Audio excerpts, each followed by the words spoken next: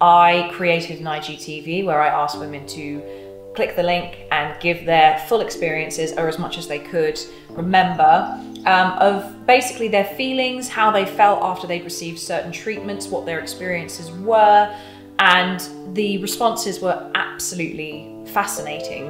Um, and a lot of these women call uh, message me personally to tell me what their experiences were and how they had been treated and how they felt after receiving any kind of medical care. Um, and there is variation. There are variations, of course, because you know we have all sorts of different medical issues throughout our lives, and some are good and some are bad. But some of the responses I got were really, really interesting. Lots of women felt like they had had much better treatment within the A&E department or the NHS hospitals themselves as opposed to their GPs.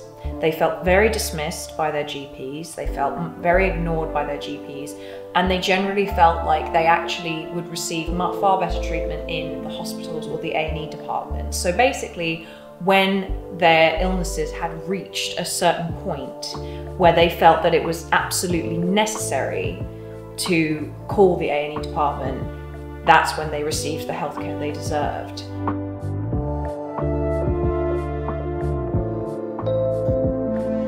Whenever I talk about women's health specifically on my platform, it gets the most response pretty much out of anything else. So if I talk about abortion, if I talk about fertility in any way, uh, polycystic ovary syndrome, endometriosis, periods, this gets such a loud response because I think there's so much stigma that people tend to be desperate to give their experience when the opportunity arises.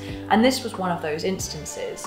The response was absolutely incredible to the point where the Department of Health and Social Care actually reached out and said that as a result of the video, they had had they had a they were having technical glitches because so many women were just so intent on telling them how they how they had been feeling and how how they'd been ignored throughout all of their years of being alive and being treated.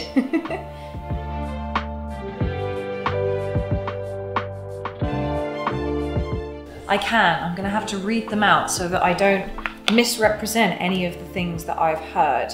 One person said that the NHS was amazing and, and saved their lives. But um, one person said that it was utter shite, got treated like shit when I thought I might have breast cancer. And I particularly, I do remember that, that I think that this particular person's story, they said that it was something to do with the way that they wore their bra. They saved my life twice, helped my child and fixed my face. So nothing but love for it. But my GP, on the other hand, is pure shit, sexist and awful. I'm so grateful that it's free, but man, is it fat phobic. Um, they saved my mum's life, helped my son come to the world. They are fab. Um, there are some people that have said waiting forever, problems not benign, treated like a priority.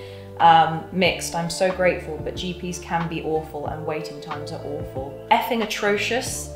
Um, I had a lump on my vagina and it wasn't picked up on by my smear, but it should have been. Terrible, been waiting for therapy for near, near a year and nearly had to be hospitalised.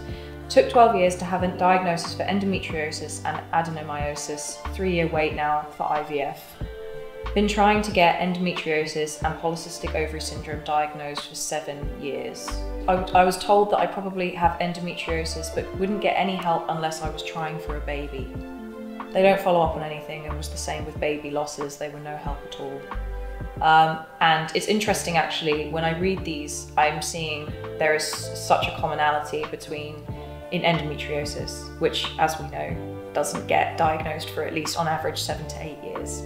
So that, that is a very common one that I see a lot in, um, in women.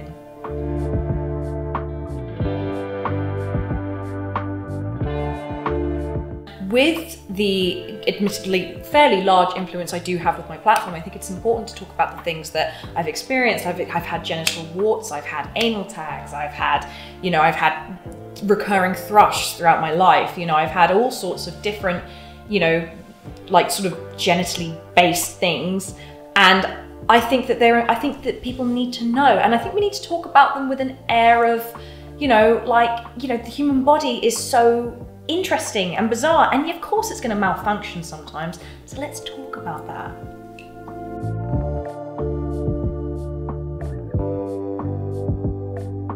Um, my diagnosis of polycystic ovary syndrome, I was told that I had it, and then that was it. There was no explanation of what that meant for me and how I should move forward. And endometriosis, one in 10 women have endometriosis in the UK. Women have to literally be on their knees before they will get a diagnosis about it. And truly, honestly, it is a lot to do with the fact that the Me Too movement was so prevalent and so important. And we need to not just believe women, but believe patients, believe female patients. Like, and that is that is the problem. We are not when we hear their pain, we don't believe that it's really as bad as they say.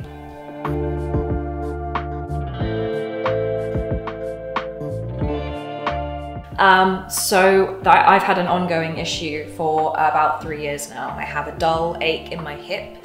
Um, and it started up around the time that I my grandfather died, and I thought it might be stress related. Um, and then I told the NHS, they said it might be a physio problem, but I specifically said that the problem seemed to flare up when I was having a period. Um, but that was sort of like put to the side, and I was sent into physio. So um, that didn't work. And then I was told that, well, actually, I wasn't told. What happened was um, I had to get a scan. The scan happened about two years later because I kept going back and saying, there's something wrong. Please, please do something because this isn't normal. I'm 23. I don't think I should be experiencing this kind of pain. And so I got a scan, then I never heard anything about it. So I called them, and this was this was eight months later because I was still experiencing problems. And I just thought, what can it, what what can hurt? I'll give them a call and I'll see what they say. And they said they randomly mentioned as they were explaining the results of the scan to me. Um, they said, oh, you know, you know uh, and it was a mumble. It was like, oh, sorry, polycystic ovaries, and I was like, what was that? And they were like, oh, polycystic, your your polycystic ovaries, and I was like, no, I no one's no one's mentioned that to me. No one's ever said anything about that to me. And like, oh, well, you should. This, you know, it says here that you knew, and I was like, no. So who who wrote that note down to say that I was aware? And then when I went back for another scan, they said that I didn't have it and it's just it's it's still it's still an ongoing issue. It's a complete mess. And the last time i went to anyone about it i went to my gp and you know this was actually a woman. And i said you know can you can you like can can we do something? Because i'm still in pain. This isn't hasn't gone away. And she said what would you like us to do? And i was like okay. And she and, and she said is there anything else? And it was very clipped on the phone. And i was like I just hung up because it was the, it, it, was the way she said it. It was like, well, what would you want? What do you want from us? What are we going to do?